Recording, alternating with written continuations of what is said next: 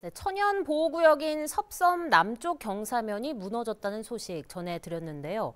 이 섭섬뿐만 아니라 범섬과 문섬 등 인근 섬들도 풍화 작용에 취약한 지질적 특성을 가지고 있습니다. 추가 붕괴 사고가 발생할 가능성이 있는 만큼 정밀 안전 진단과 실태 조사가 시급한 상황입니다. 김경임 기자의 보도입니다. 깎아지른 해안절벽 아래에서 흙먼지가 피어오릅니다. 지난 6일 천연 보호구역인 섭섬 남쪽 경사면이 무너진 당시의 모습입니다.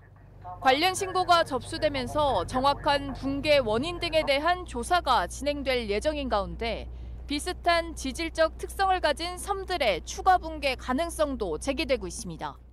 이번에 해안절벽이 붕괴된 섭섬은 조면암으로 이루어져 있습니다. 조면암은 화산암 종류 가운데 하나로 다른 암석보다 물은 특성을 지니면서 햇빛이나 물, 공기 등에 의해 부서지는 이른바 풍화작용에 취약합니다. 특히 섭섬처럼 해안절벽을 따라 주상절리가 수직으로 발달해 있을 경우 거센 파도 등으로 더 부서지기 쉽습니다.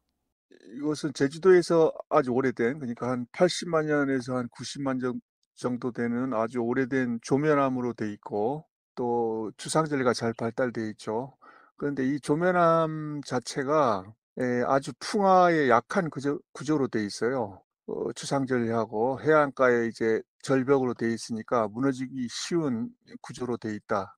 인근에 있는 범섬과 문섬 등도 섭섬과 같은 조면암으로 구성돼 있어 언제든 붕괴 가능성이 있는 상황. 하지만 해당 섬 주인은 다이버와 낚시객들에게 인기 있는 장소로 꼽히며 발길이 끊이지 않고 있어 자칫 인명 사고도 우려되고 있습니다.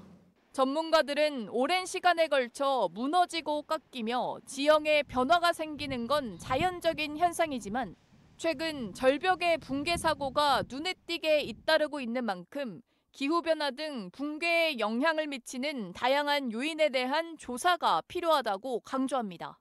최근에 이제 남쪽에 이제 그런 조면암의 주상절리로 돼 있는 섬이라든가 또는 수성화산 같은 아주 약한 구조로 되어 있는 게 자꾸 무너지는데 기후 위기의 그런 원인으로 보고 있는데 이거는 결국에는 좀 조사를 잘 해봐야 돼요. 그 전체적인 조사가 좀 필요하다고 생각합니다. 또다시 절벽 붕괴 사고가 발생할 수 있는 만큼 비슷한 절벽과 지질층에 대한 정밀 안전 진단과 실태 조사가 시급해 보입니다. KCTV 뉴스 김경임입니다.